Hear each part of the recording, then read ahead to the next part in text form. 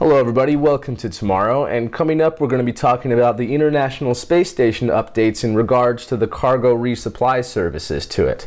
And also we're going to be talking about some modifications to a Hall thruster that has been tested recently, and some statements that have been made in the Senate regarding the Falcon 9 failure. That's what we're going to be talking about for this, your Space Pod, for July 7th, 2015.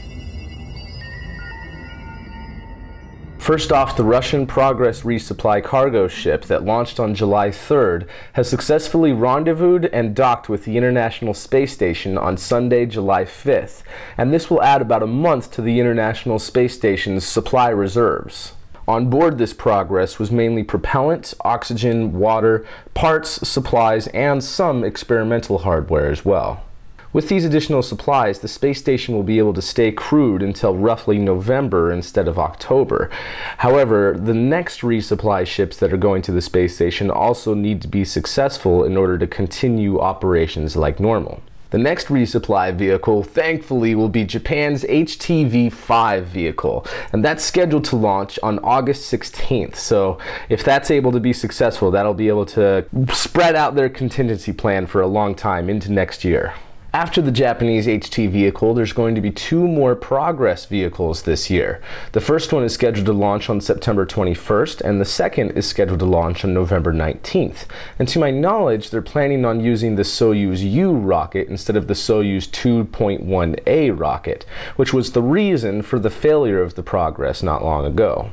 Orbital ATK's first Cygnus flight since the accident last October is scheduled to launch in December on an Atlas V rocket being provided by United Launch Alliance. However, they are looking at the possibilities of moving that launch up to as early as October. SpaceX's eighth commercial resupply services mission was scheduled for September 2nd, although they haven't quite found the cause of the Falcon 9 failure on their most recent launch. Elon Musk did put out a tweet saying to expect preliminary results regarding the last fight by the end of the week. And I'm not sure if he meant the end of last week since that was posted on July 5th or the end of this week, but in any case, we should be finding out some results very soon.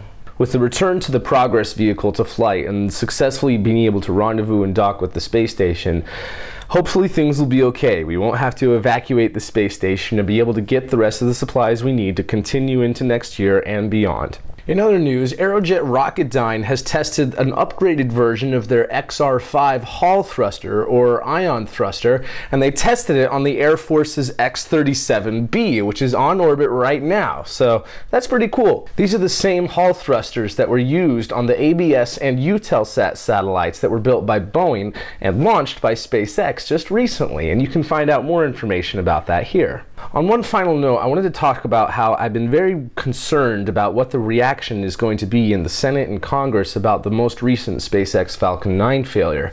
But there was a statement that was released by John McCain. Say what you want about John McCain, but he said this. He said that the most recent failure should not be used as leverage to buy more of the Russian rocket engines that power United Launch Alliance's Atlas V rocket. He also said that he is confident that this minor setback will in no way impede the future success of SpaceX and its ability to support U.S. national security space missions.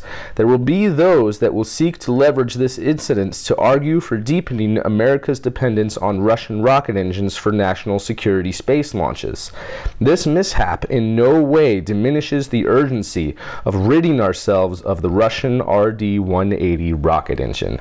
It's a powerful statement, and keep in mind that he is the chairman of the Senate Armed Services Committee, so his words do have some weight to them. I might not agree with John McCain on everything, but in this regard, I agree 100%. Anyway, let me know what you guys think about these particular updates, and I want to know whether or not you think the space station will have to be evacuated if any more accidents occur, or if it will be business as usual and at least the year-long mission that's up there right now will be able to continue on through to its conclusion. So let me know what you think. If you like these space pods that we're doing, then consider contributing to our Patreon campaign at patreon.com slash spacepod. And we are very grateful to everyone who's been helping out already, and we're getting a lot closer to some of the goals that we have. So thank you very much to everyone who's contributed and making this show possible. Thank you very much for watching this video. My name is Michael Clark, and hopefully you know a little bit more today than you did yesterday, thanks to tomorrow. Keep looking up, everybody, and I will see you guys in the future.